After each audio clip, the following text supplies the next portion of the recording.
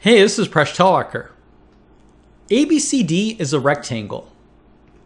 Point P is 11 units from A, 13 units from B, and 7 units from C.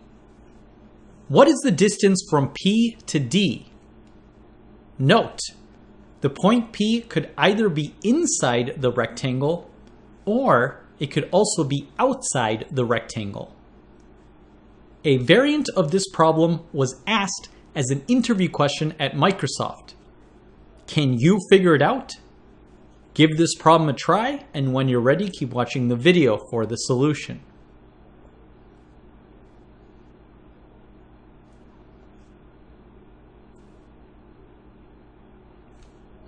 There's a special equation that always works for rectangles and a given point P.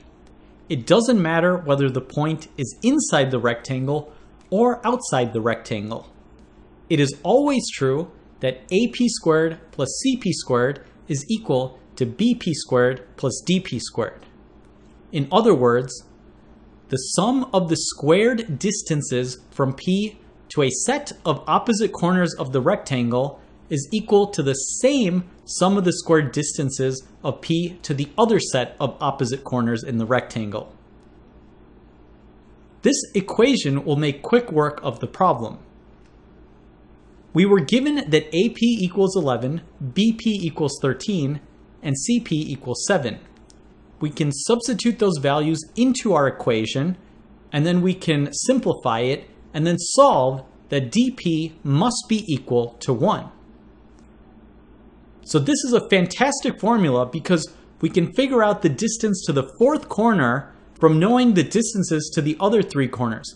And we don't need to know whether P is inside the rectangle or outside the rectangle, and we don't know anything about the rectangle, like its length and width. We can still figure out the distance from P to the fourth corner of the rectangle. Now this is a rarely taught equation, but it has a kind of interesting name. We can represent it geometrically as follows. We have AP squared, which we can represent as an area that's a square. CP squared, we can also draw a square. For the other distances, we'll draw them as red squares. For this equation to be true, it means that the total area of the blue squares is equal to the total area of the red squares. Now this diagram has a vague resemblance to the Union Jack, and so this is actually known as the British flag theorem. It's rarely taught in school, but as we'll see, it's actually an extension of the Pythagorean theorem. So now let's prove why this equation is true. We'll start out with the rectangle and we'll put point P inside the rectangle. The proof will be similar when P is outside the rectangle. So now we'll draw all of the distances from the corners to the point P.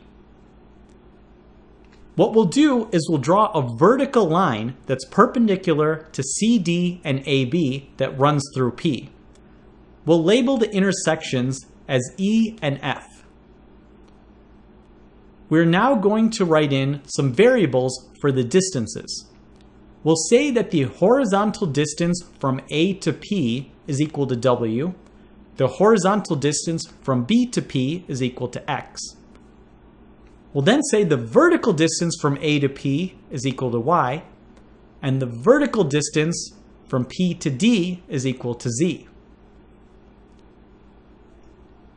So because this is a rectangle, we can actually label some of the other lengths in this figure. We know that df will also be equal to w, and CF will also be equal to X. So now, where does this get us?